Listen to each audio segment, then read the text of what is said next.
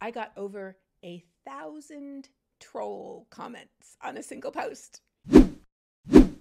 Humans have been trying to weaponize or control weather for at least a hundred years. It was amazing to me how many of these comments on the post claimed that an entire hurricane was geoengineering or cloud seeding or a secret military experiment or the elites manipulating our weather. Does anybody have any idea how much energy is contained in a hurricane? A powerful hurricane can release the equivalent of at least a 10 megaton nuclear bomb every 20 minutes. Humans literally do not even have the technology to create something like that. And as for cloud seeding, first of all, the hurricane had all the water it needed. It didn't need any more.